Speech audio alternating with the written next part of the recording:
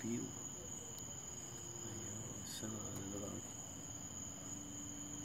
Živio, kogod gledao živio.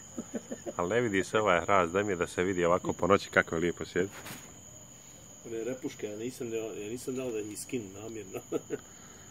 ono, kaže skidaj ovo, ma jo, kako, kako skida, da, ja to volim. Gdje se ono ko strava i užas, ali Nije ono, vidiš kako je ukrasno, ba, joj, biš da se probudiš u ponoć i da vidiš ovo, Da, ba, nemoj. ustrao bi se od straha. Hajde, hajde, vidiš, hajde, hajde. Pa vidi, ali kako je, kako je. Zato, ono, maksimum nisam dao da se, da se vidi. Aha, ove repuške, okej, okej, a mislim ovo što visi sa hrasta gore ba. A, ovi, ovi, vidiš.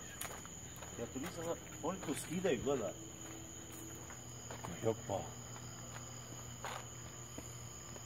Ja to nisam, ja to. Dobro, nisam ja mislio na to, mislim na ovo gore ba, vidi A ovo. ono što visi, ma ja, to je Florida i to. Nisam ja. A vidi ovo, ej, vidi. Vidi kako je svaki ovaj dio urastao. Gledaj. Ja. Gdje god sam ja zavrnuo onaj, ono željezo, gledaj kako je to hrast ufatio. Jer ovo je teško, ima ovdje. Jeste. desetak Baš sam na to gledao. Jučer. A hrast je to, evo, evo vidi na ovoj strani, vidi. Sve što, gledaj, odmah je on to se pobrinuo da to, ovaj, gledaj. I gotovo, to više ne može, to je dio Ni njega. ni... Ja, to je dio njega i gotovo, jer ovo je poteško. E.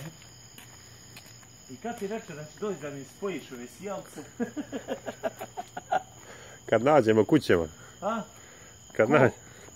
Sve ima gotovo. Trebam samo, samo jak električar.